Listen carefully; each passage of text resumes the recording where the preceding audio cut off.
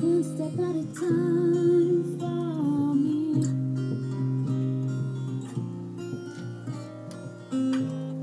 To put the past behind and see what's to be.